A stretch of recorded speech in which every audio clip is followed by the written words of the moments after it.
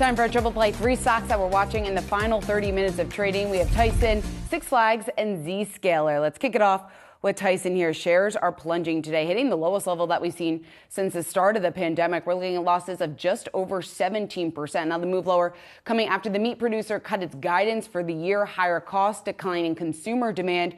Two big reasons for this here chicken, pork, and beef divisions all facing challenges. Clearly, a tough time here for Tyson. It was Tyson's first quarterly loss since 2009. The headwinds could likely persist here for some time. We got some commentary on the earnings call here. CFO John Tyson telling analysts that this is going to be the case at least for the remainder of the year. Over the past year, we're looking at losses of just over 44% Akiko here. So the fact that business might not be improving anytime soon clearly worrisome here for the company.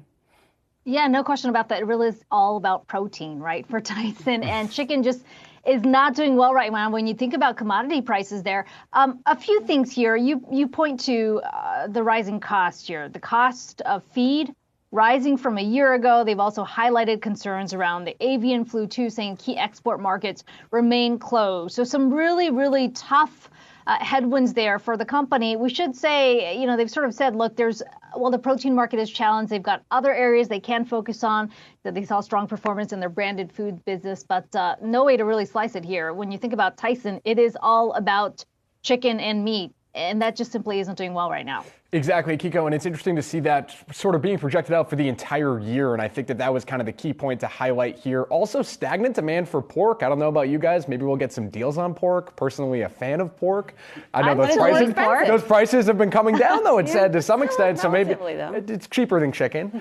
um, but the other thing too, I think to point out there, when we think about earnings as a whole, and JJ Kinahan was pointing this out this morning, when you think about Tyson's earnings, is we haven't had a lot of retail earnings yet either, and sort of as the story shifts in earnings season here, what we see for overall outlook moving forward in these different style companies that are reporting now. We're sort of moving away from tech earnings now and getting back into what the consumer has to say. So we've seen these earnings beat, but maybe that story will change as we look at the different companies over the next couple weeks.